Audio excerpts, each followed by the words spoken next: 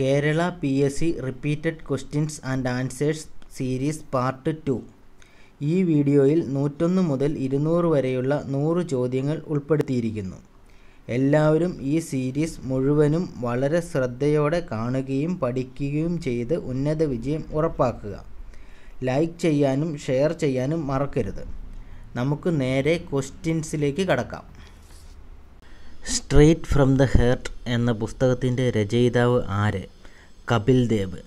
കപിൽ ദേവ് ആണ് straight from the heart എന്ന പുസ്തകത്തിന്റെ രചയിതാവ്. നൊബേൽ സമ്മാനവും ഓസ്കർ പുരസ്കാരവും നേടുന്ന രണ്ടാമത്തെ വ്യക്തി ആര്? Bob Dylan. ബോബ് ഡിലൻ ആണ് നൊബേൽ സമ്മാനവും ഓസ്കർ പുരസ്കാരവും നേടുന്ന രണ്ടാമത്തെ വ്യക്തി. ഗ്രീൻ പീസ് സംഘടനയുടെ ആസ്ഥാനം എവിടെ? ആംസ്റ്റർഡാം. ആംസ്റ്റർഡാം ആണ് ഗ്രീൻ ബീറ്റ് സംഘടനയുടെ ആസ്ഥാനം. ക്വിറ്റ് ഇന്ത്യ സമരകാലത്തെ ഇന്ത്യൻ നാഷണൽ കോൺഗ്രസ് പ്രസിഡന്റ് ആരായിരുന്നു? മൗലാന അബ്ദുൽ കലാം ആസാദ്. മൗലാന അബ്ദുൽ കലാം ആസാദ് ആയിരുന്നു ക്വിറ്റ് ഇന്ത്യ സമരകാലത്തെ ഇന്ത്യൻ നാഷണൽ കോൺഗ്രസിന്റെ പ്രസിഡന്റ്.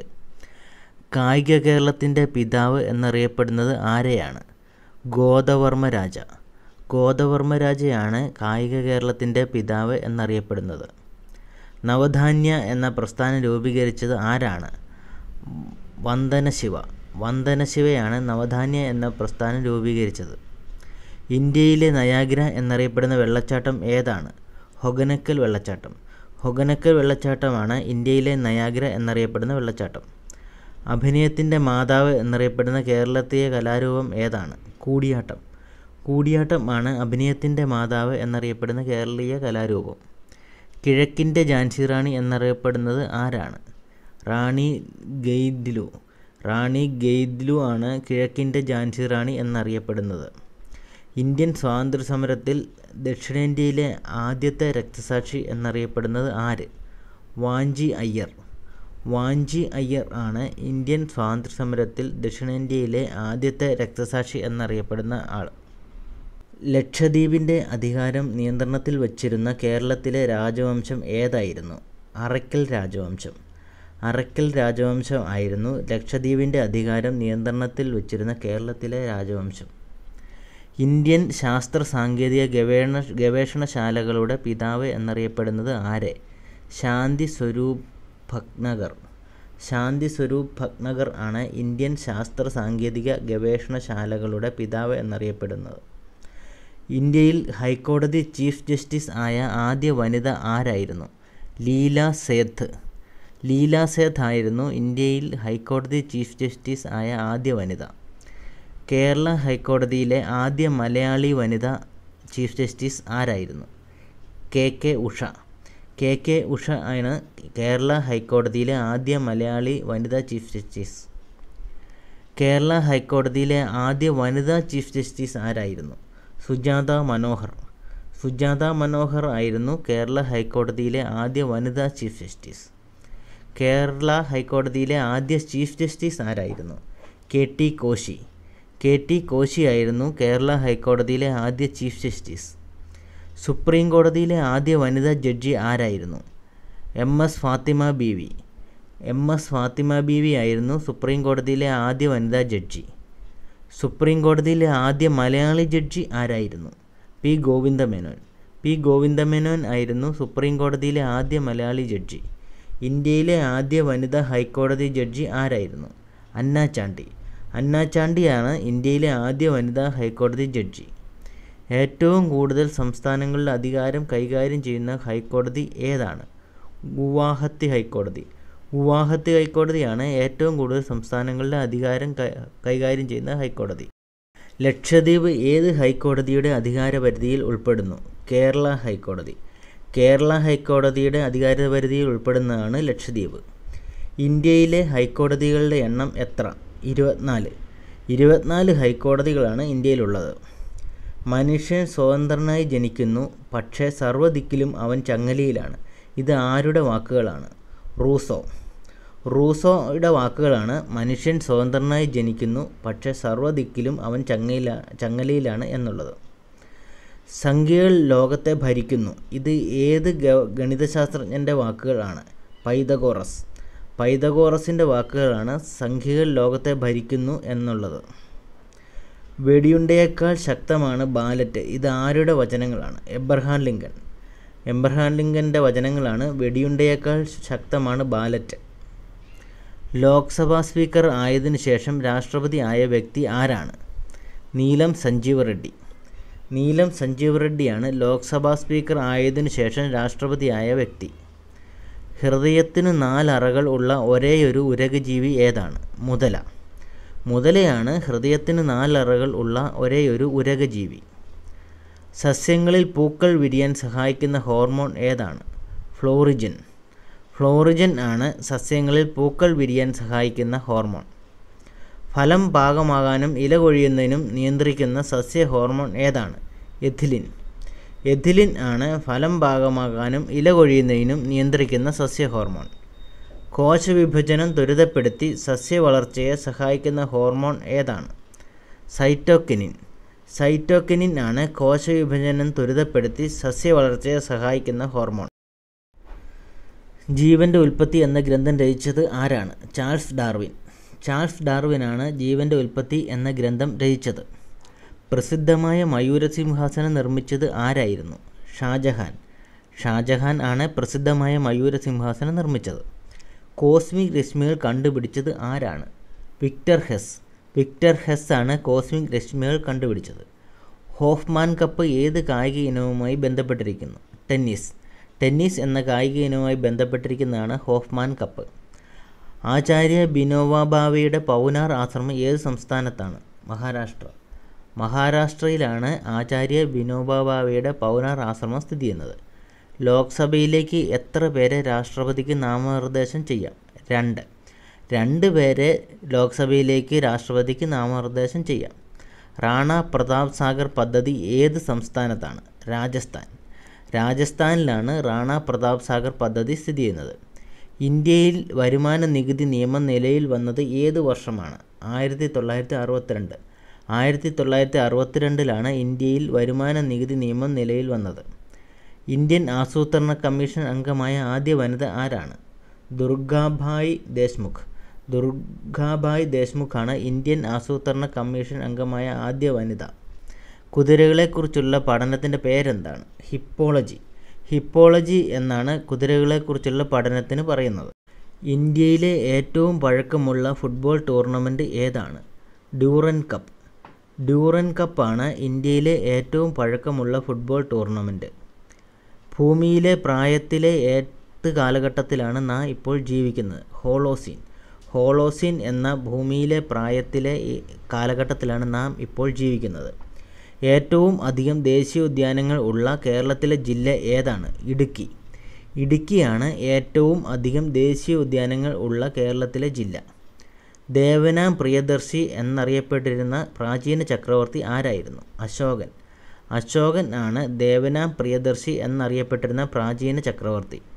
ഇന്ത്യൻ ഭരണഘടന ഉറപ്പു നൽകുന്ന മൗലിക അവകാശങ്ങൾ എത്രയാണ്? ആറ്. ആറ് മൗലികാവകാശങ്ങൾ ആണ് ഇന്ത്യൻ ഭരണഘടന ഉറപ്പു നൽകുന്നത്. ഗ്രീനിച്ച് സമയം കൃത്യമായി അറിയാൻ ഉപയോഗിക്കുന്ന ഉപകരണം ഏതാണ്? ക്രോണോമീറ്റർ. ക്രോണോമീറ്റർ ആണ് ഗ്രീനിച്ച് സമയം കൃത്യമായി അറി അറിയാൻ ഉപയോഗിക്കുന്ന ഉപകരണം. ഭൂസർവേ നടത്താൻ ഉപയോഗിക്കുന്ന ഉപകരണം ഏതാണ്? തിയഡോലൈറ്റ്. തിയഡോലൈറ്റ് ആണ് ഭൂസർവേ നടത്താൻ ഉപയോഗിക്കുന്ന ഉപകരണം. ദക്ഷിണേന്ത്യയിലെ ഫ്ലോറൻസ് നൈറ്റിങ്ങൽ എന്നറിയപ്പെടുന്ന വനിത ആരാണ്? അന്ന ജേക്കബ്. അന്ന ജേക്കബ് ആണ് ദക്ഷിണേന്ത്യയിലെ ഫ്ലോറൻ നൈറ്റിംഗിൽ എന്നറിയപ്പെടുന്ന വനിത. ആലപ്പുഴ തുറമുഖത്തിലെ ശില്പി ആരാണ്? രാജാ കേശവദാസ്.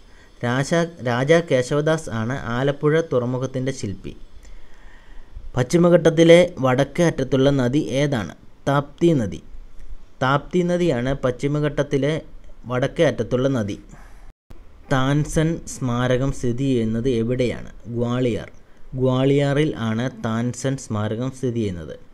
ഇന്ത്യയിലെ ഏറ്റവും വലിയ ലവണ തടാകം ഏതാണ്? ചിൽക്ക. ചിൽക്ക ആണ് ഇന്ത്യയിലെ ഏറ്റവും വലിയ ലവണ തടാകം. കണ്ണാടിപ്പുഴ ഏത് നദിയുടെ പോഷക നദിയാണ്? ഭാരതപ്പുഴ. ഭാരതപ്പുഴയുടെ പോഷക നദിയാണ് കണ്ണാടിപ്പുഴ. ആയിരത്തി തൊള്ളായിരത്തി മുപ്പത്തഞ്ചിലെ ഗവൺമെന്റ് ഓഫ് ഇന്ത്യ ആക്ട് പാസാക്കിയ വൈസ്രോയി ആരായിരുന്നു? Lord Wellington. ലോർഡ് വെല്ലിംഗ്ടൺ ആണ് ആയിരത്തി തൊള്ളായിരത്തി മുപ്പത്തഞ്ചിലെ ഗവൺമെന്റ് ഓഫ് ഇന്ത്യ ആക്ട് പാസാക്കിയ വൈസ്രോയി. സ്കൗട്ട് ആൻഡ് ഗൈഡ് സ്ഥാപിതമായ വർഷം ഏതാണ്? ആയിരത്തി തൊള്ളായിരത്തി ഏഴ് ആയിരത്തി തൊള്ളായിരത്തി ഏഴിലാണ് സ്കൗട്ട് ആൻഡ് ഗൈഡ് സ്ഥാപിതമായത്. ഗുപ്ത സാമ്രാജ്യത്തെ ബ്രാഹ്മണരുടെ ഭൂമി എന്ന് വിശേഷിപ്പിച്ചത് ആരായിരുന്നു? ഫാഹിയാൻ. ഫാഹിയാൻ ആണ് ഗുപ്ത സാമ്രാജ്യത്തെ ബ്രാഹ്മണരുടെ ഭൂമി എന്ന് വിശേഷിപ്പിച്ചത്. ഡ്യൂക്ക് ഓഫ് വെല്ലിംഗ്ടൺ എന്നറിയപ്പെടുന്നത് ആരെയാണ്? Arthur Wellesley. ആർത്തർ വെല്ലസിയാണ് duke of Wellington എന്നറിയപ്പെട്ടിരുന്നത്. Why I am a Hindu എന്ന പുസ്തകം രചിച്ചത് ആരാണ്? ശശി തരൂർ. ശശി തരൂർ ആണ് വൈ അയാം എ ഹിന്ദു എന്ന പുസ്തകം രചിച്ചത്. ആദ്യ ഒളിമ്പിക്സ് ഹോക്കി ജേതാക്കൾ ഏത് രാജ്യക്കാരായിരുന്നു? ഇംഗ്ലണ്ട്. ഇംഗ്ലണ്ടാണ് ആദ്യ ഒളിമ്പിക്സ് ഹോക്കി ജേതാക്കൾ. പത്ത് സിദ്ധാന്തങ്ങൾ എന്ന് എന്നത് ഏത് പ്രസ്ഥാനവുമായി ബന്ധപ്പെട്ടിരിക്കുന്നു? ആര്യ സമാജം ആര്യ സമാജവുമായി ബന്ധപ്പെട്ടിരിക്കുന്നതാണ് പത്ത് സിദ്ധാന്തങ്ങൾ. ആധാർ കാർഡ് നേടിയ ആദ്യ വ്യക്തി ആരാണ്? രഞ്ജന സോനാവൽ. രഞ്ജന സോനാവൽ ആണ് ആധാർ കാർഡ് നേടിയ ആദ്യ വ്യക്തി. ഇൻ ആദ്യ ഫുട്ബോൾ ലോകകപ്പ് മത്സരം നടന്നത് എവിടെ വച്ചാണ്? യുറുഗ്വേ. യുറുഗ്വേയിലാണ് ആദ്യ ഫുട്ബോൾ ലോകകപ്പ് മത്സരം നടന്നത്. ഇന്ത്യൻ പത്രപ്രവർത്തനത്തിന്റെ വന്ധ്യ വയോധികൻ എന്നറിയപ്പെടുന്നത് ആര്? തുഷാർ ഗാന്ധി ഘോഷ്. തുഷാർ ഗാന്ധി ഘോഷാണ് ഇന്ത്യൻ പത്രപ്രവർത്തനത്തിലെ വന്ധ്യ വയോധികൻ എന്നറിയപ്പെടുന്നത്. ഇന്ത്യൻ പത്രപ്രവർത്തനത്തിന്റെ പിതാവ് എന്നറിയപ്പെടുന്നത് ആര്? ചലപതി റാവു. ചലപതി റാവു ആണ് ഇന്ത്യൻ പത്രപ്രവർത്തനത്തിന്റെ പിതാവ് എന്നറിയപ്പെടുന്നത്. ലോകത്തിൽ ആദ്യമായി പത്രം പ്രസിദ്ധീകരിച്ച രാജ്യം ഏതാണ്? ചൈന. ചൈനയാണ് ലോകത്തിൽ ആദ്യമായി പത്രം പ്രസിദ്ധീകരിച്ച രാജ്യം. വെളുത്ത സ്വർണം എന്നറിയപ്പെടുന്ന ലോഹം ഏതാണ്? പ്ലാറ്റിനം. പ്ലാറ്റിനം ആണ് വെളുത്ത സ്വർണം എന്നറിയപ്പെടുന്ന ലോഹം. ക്യാൻസർ ചികിത്സയ്ക്ക് ഉപയോഗിക്കുന്ന ഐസോട്ടോപ്പ് ഏതാണ്? കൊബാൾട്ട് അറുപത്. കൊബാൾട്ട് അറുപത് ആണ് ക്യാൻസർ ചികിത്സയ്ക്ക് ഉപയോഗിക്കുന്ന ഐസോട്ടോപ്പ് കേന്ദ്ര സാഹിത്യ അക്കാദമിയുടെ ആസ്ഥാനത്തിന്റെ പേരെന്താണ്? രബീന്ദ്ര ഭവൻ രബീന്ദ്ര ഭവൻ എന്നാണ് കേന്ദ്ര സാഹിത്യ അക്കാദമിയുടെ ആസ്ഥാനത്തിന്റെ പേര്. കർക്കിടക സംക്രമം എന്നറിയപ്പെടുന്ന ദിവസം ഏതാണ്? സെപ്റ്റംബർ ഇരുപത്തിമൂന്ന്. സെപ്റ്റംബർ ഇരുപത്തിമൂന്നാണ് കർക്കിടക സംക്രമം എന്നറിയപ്പെടുന്ന ദിവസം. മഹാവിഷുവം എന്നറിയപ്പെടുന്ന ദിവസം ഏതാണ്? മാർച്ച് ഇരുപത്തൊന്ന്. മാർച്ച് ഇരുപത്തൊന്നാണ് മഹാവിഷുവം എന്നറിയപ്പെടുന്ന ദിവസം.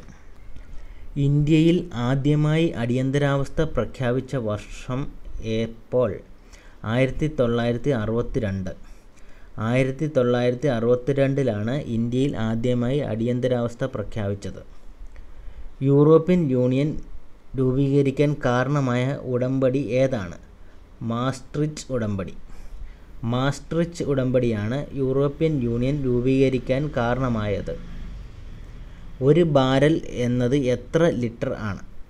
നൂറ്റി അമ്പത്തി ഒൻപത് ലിറ്റർ നൂറ്റി അൻപത്തൊമ്പത് ലിറ്ററാണ് ഒരു ബാരൽ എന്ന് പറയുന്നത്.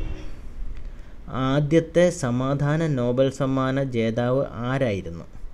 Jean Henri Dunant Jean Henri Dunant ആണ് ആദ്യത്തെ സമാധാന നോബൽ സമ്മാന ജേതാവ്.